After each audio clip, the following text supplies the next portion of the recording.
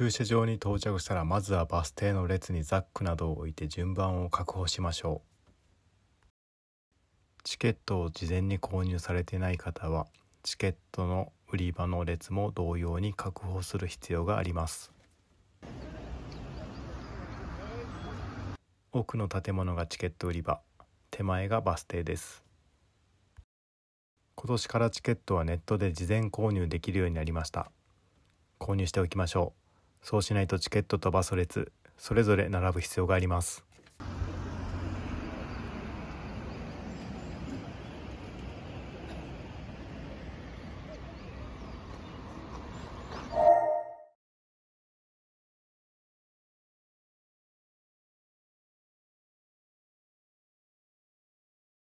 タクシーは約5000円です。4人だと1人1250円。バスだと1人830円。その差430円。ジャンボタクシーもあります。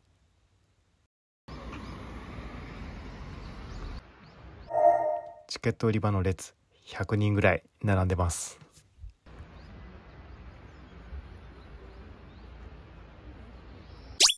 バスの列右側から並んでます。その列は駐車場の奥まで行きさらに曲がったところまで。駐車場の奥まで約100メートルほどあります。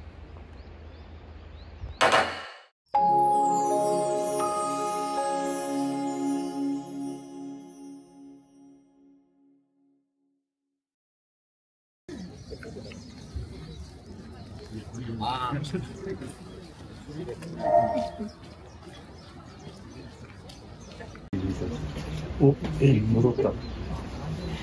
明日もねなんか明日の方がなんか天気良さそうですね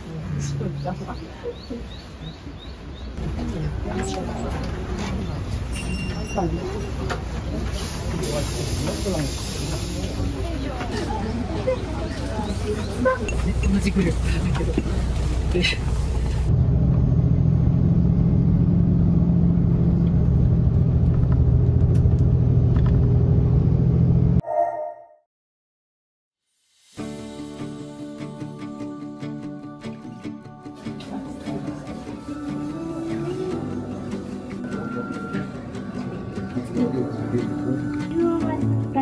で、観光駒ヶ岳ロープウェイをご利用いただきまして誠にありがとうございます。当ロープウェイの小さ950メートルと終点天井寺駅の標高2612メートルはともに日本に一番していますそれではこれから終点天井駅までの約7分30秒の空中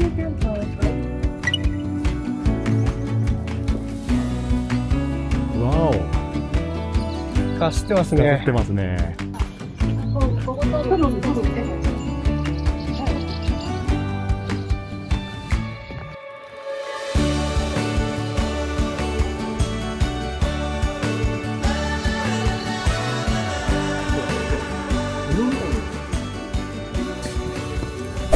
じゃあ登山スタートです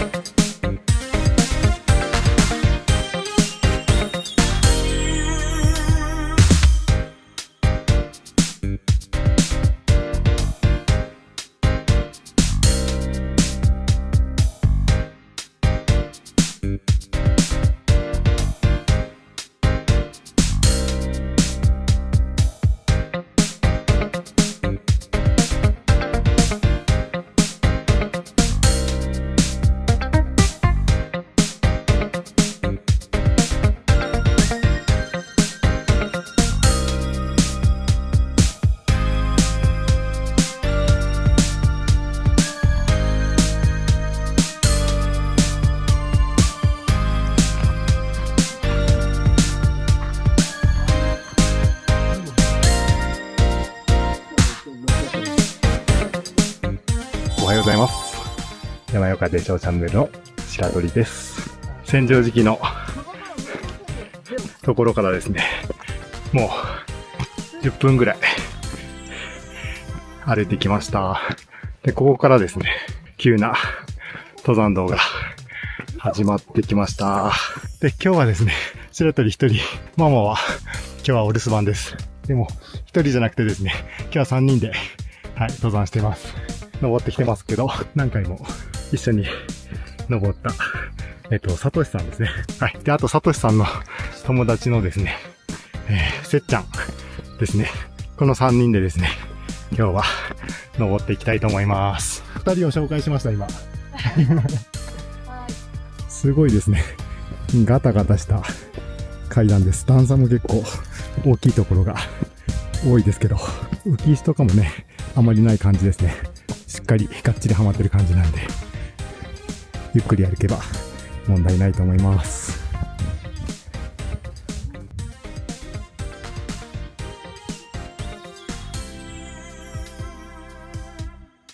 四つ橋大小川。向こうにもついてます。仮設の階段が現れてきたんで、のっこしまであと少しですね。勾配がきついんで、心臓バクバク言ってます、今。よし。そうかも。うん。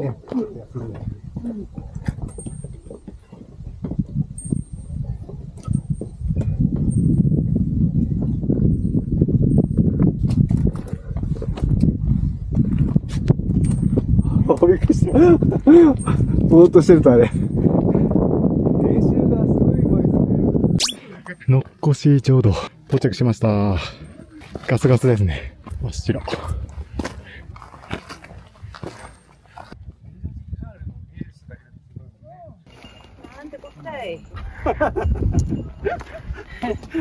イトアウト。本当何も見えない。残念すぎる。暗る前にちょっと。今日は僕の友達のせっちゃんを連れてきました。はい。こんにちは。こんにちは。よろしくお願いします。お願いします。はい。ちなみに、美人さんです。ありがとうございます。そんなことないです。そこ美人ですって言ってください。はい。はい。頂上山荘が見えてきました。もうのっこしからすぐですね。相変わらずガスガスです。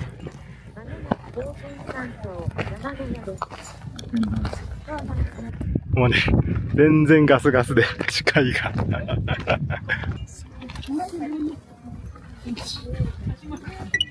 はい、中岳の山頂に到着しました。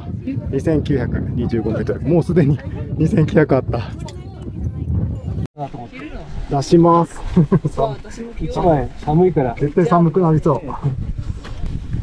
失礼しました。あったかい。はい。めちゃくちゃ下ってます。そしてガスガス。全然見えません。このガスは晴れるんでしょうか。向かう人と帰る人と大渋滞です。うん、失礼。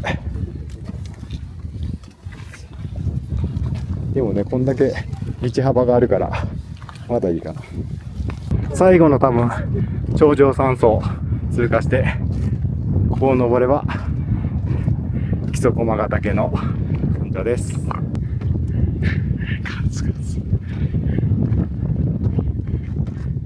駒ヶ岳の山頂に到着しました。はい。なんかお宮が見えます。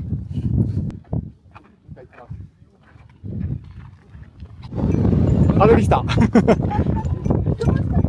い。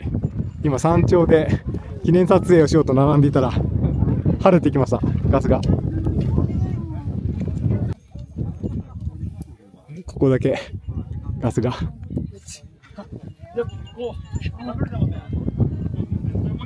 はい、一瞬ガスが晴れて、歓声が上がりました。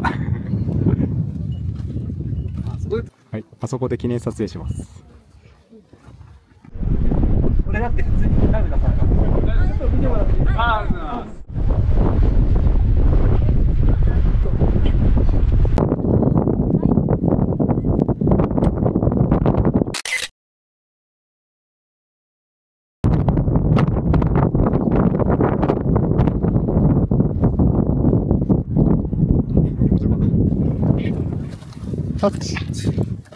はい。あったかい。こっちですね。こっち？はい。ここ、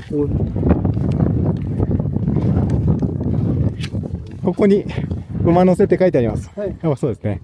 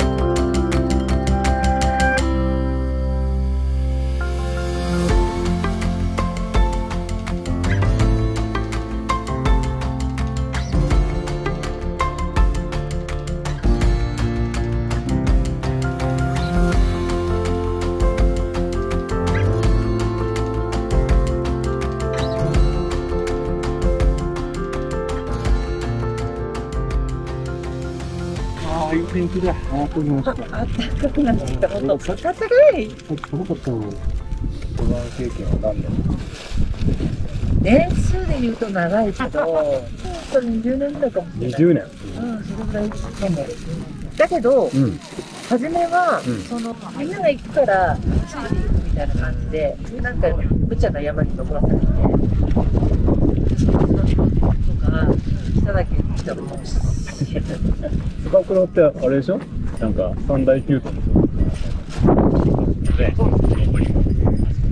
バックの技きつくて、ね、あの、中草温泉じゃなくて、そこから多分、つば九郎の山荘まで多分1300か1000ぐらいあるでしょ標高差が。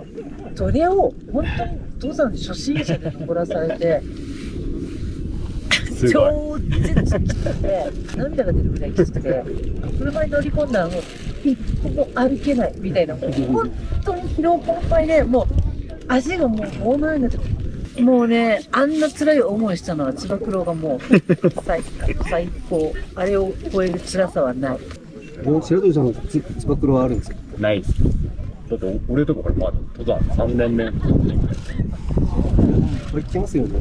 すごいいっぱい。いや、すごいいっぱい登り始めは楽しくて、やっぱ週に2回ぐらい。最初の半年から1年ぐらいにかけては、本当にもう今、話話したみたいに、楽楽になって、標高差が1000メーター超えると、次の日、あの会社行って座ってるとこみたいな。2、3日ね、なんかもう膝がなんかちょっと、あってみたいな。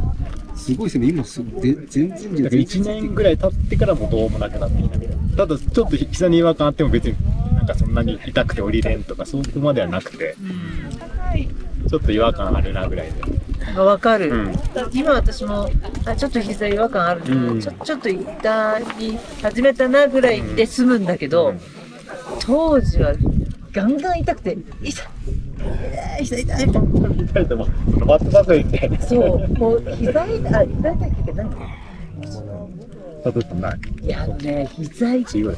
いとあれもかなり辛いですようん、ね、辛い。すごく辛い膝の痛み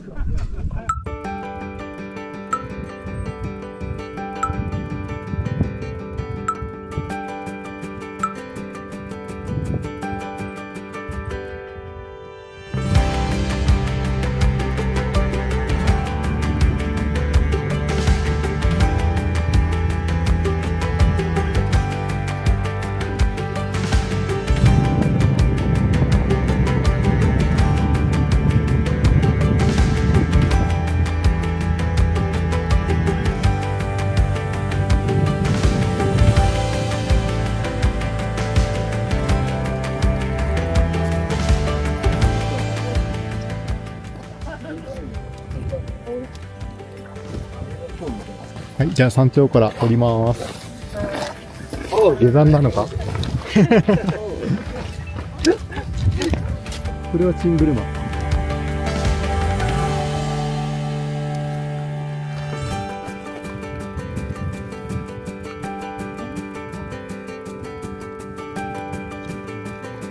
これはチングルマでしょ、これ。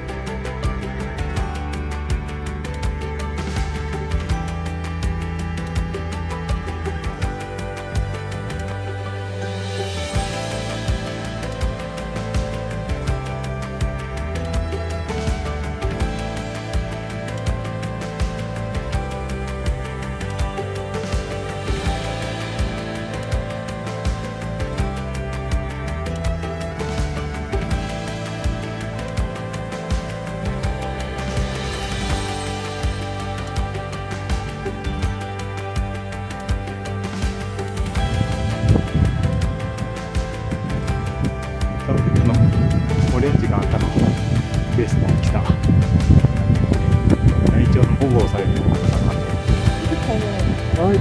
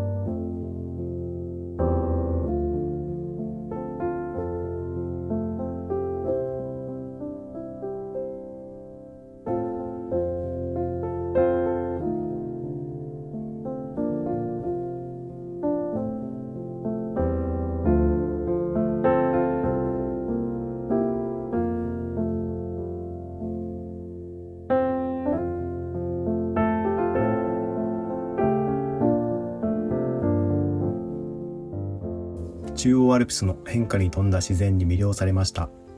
木曽駒ヶ岳への登山は予想外の展開の連続でした。出発時は濃いガスに包まれ展望のない中での挑戦となりました。視界が限られる中一歩一歩慎重に進む経験は山の神秘さと自然の力強さを感じさせてくれました。しかし運命のいたずらか幸運の女神の微笑みか途中から晴れ間が広がり始めました。ガスが晴れていく様子はまるで舞台の幕が上がるかのようでした。待望の絶景が目の前に広がった時の喜びは言葉では表現しきれないほどでした。晴れ渡った空の下で見る中央アルプスの景色は想像をはるかに超える壮大さでした。遠くに連なる山々眼下に広がる雲海そして足元に咲く高山植物全てが一幅の絵画のように美しく心に深く刻まれました。この登山で自然の気まぐれさとその魅力を改めて感じました。視界がない状況から一転絶景を目にするという劇的な展開は山登りの醍醐味の一つだと実感しました。次回は宝剣岳へ木曽駒ヶ岳山頂からの下山を終えた今次なる挑戦が待っています。次回は急峻な岩場で知られる宝剣岳への登頂に挑戦します。全身を使って岩場を登る緊張感と高揚感そして頂上からのさらなる絶景にご期待ください。